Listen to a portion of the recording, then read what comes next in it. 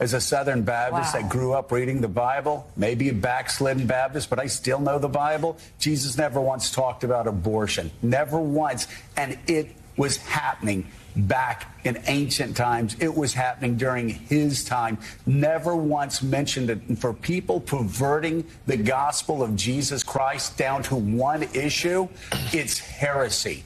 Go, if you don't believe me, if that makes you angry, why don't you do something you haven't done in a long time? Open the Bible, open the New Testament, read the red letters. You won't see it there. In this video, MSNBC host Joe Scarborough tries to correct pro-life Christians by appealing to something Jesus supposedly did not say. Here's his logic. If Jesus didn't mention abortion, then it didn't matter to him. And if it didn't matter to him, then it shouldn't matter to you. All right, let's pull out the red pen and make some corrections. First, let's assume Joe is right and Jesus never said anything about abortion. What follows from that? The simple answer is nothing. Think about it. What did Jesus say about slavery, or child sacrifice, or spousal abuse? Well, nothing that we know of.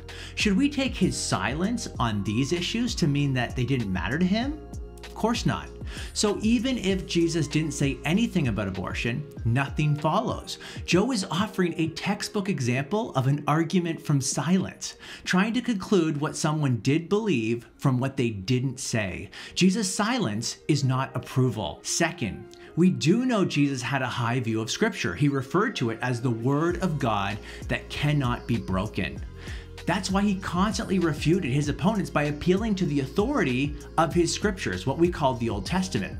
Implicit in Joe's rant is the presumption that Jesus' words, or lack thereof, are more authoritative than the rest of scripture. While it's true that Jesus gave the red letters, the Holy Spirit gave the black letters, and Jesus and the Holy Spirit were on the same page. So all scripture is God's word, not just the red letters, and that includes this passage from Psalm 139. For you formed my inward parts, you knitted me together in my mother's womb. Notice that according to this passage, the psalmist was himself even before he was born. So in light of Jesus' explicit affirmation of the scriptures, we know what he believed about the unborn. The same thing the psalmist affirmed, that we exist in the womb as ourselves before we are born. Third, Christians have always been against abortion. This isn't new. For example, in the Didache, written in the first century, it says, You shall not procure an abortion, nor destroy a newborn child. So since the very beginning of Christianity, the church has openly condemned the killing of children, both born and unborn.